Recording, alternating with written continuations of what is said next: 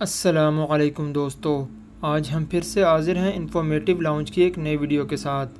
दोस्तों, वैसे तो हर शख्स की कोई ना कोई ख्वाहिश होती है, इसी तरह बहुत से लोग मरते वक्त अपने घर वालों से वसीयत और आखिरी अल्फाज कह कर जाते हैं। ये आखिरी अल्फाज दरअसल इस कदर गैर मामूली होते हैं कि कई मरतबा इंसान समझ ही नहीं पाता कि ये वही इंसान है।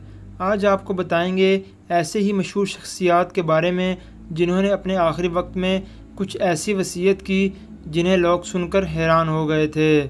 सबसे पहले अब्दुलसत्तार ईदी, पाकिस्तान के वो गरीब शख्स जो कि दिल से अमीर थे, जिसने समाजी कामों में दुनिया भर को हैरान कर दिया था। अब्दुलसत्तार ईदी ने इंसानी खिदमत की एक ऐसी रवायत डाली जो कि आज तक चल रही है। हती के मरते वक्त भी ईदी साहब ने अपने बेटे से सिर्फ़ एक ही वसीयत की थी, बेटे के मुताबिक, जो कपड़े मैं पहने हुए हैं, मुझे उन्हीं में दफनाना। जबकि अपने आज़ाद से मुतालिक ईदी साहब का कहना था कि मेरे मरने के बाद मेरे जिसम के अज़ा को अतिया कर देना। लेकिन चूँकि इनके जिसमानी अज़ा इस काबिल नहीं थे कि वो किसी दूसरे के काम आ सकें अलबत् ईदी साहब की आँखें अतिया कर दी गई थी। नंबर दो जुल्फ़ार अली भुट्टो। पाकिस्तान के सबक वज़ी अजम और पाकिस्तान पीपल्स पार्टी के बानी जुल्फ़ार अली भुट्टो को सजाए मौत का परवाना भेजा गया था, जिसे देखकर वो ख़ुद भी हैरान हुए थे।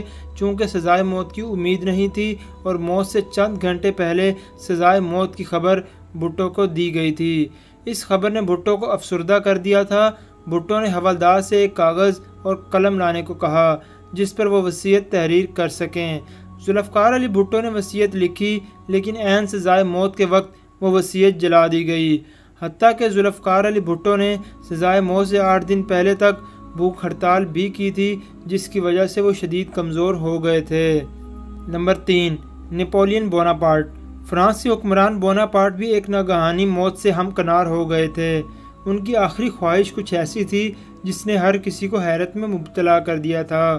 उनकी आखिरी ख्वाहिश थी कि मरने के बाद मेरे सर को गंजा कर दिया जाए, जबकि मेरे बालों को दोस्तों में तकसीम कर दिया जाए। बाद उनके बालों से जहर के ज़रात मिले थे, जिससे ये बात वाजह हुई कि इस हुक्मरान को जहर देकर मारा गया था। दोस्तों, चौथा नंबर है फातिमा सुरैया बजिया का। पाकिस्तान की तारीख का एक सुनहरी बाब, फातिमा सुरैया।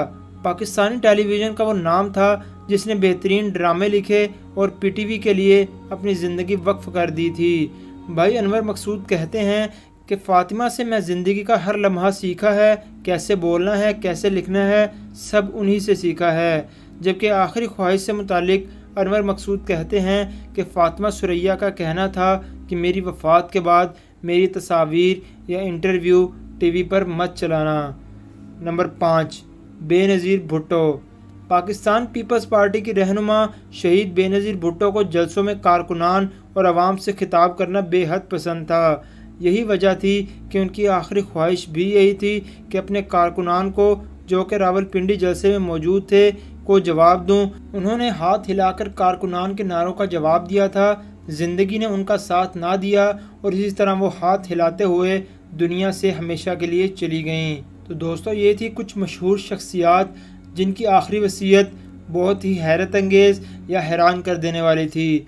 आज की वीडियो में बस इतना ही। वीडियो अच्छी लगी हो तो हमारे चैनल को सब्सक्राइब करना मत भूलिएगा और बेल के आइकन पर ज़रूर क्लिक कीजिएगा ताकि आपको हमारी हर नए आने वाली वीडियो का नोटिफिकेशन मिल सके।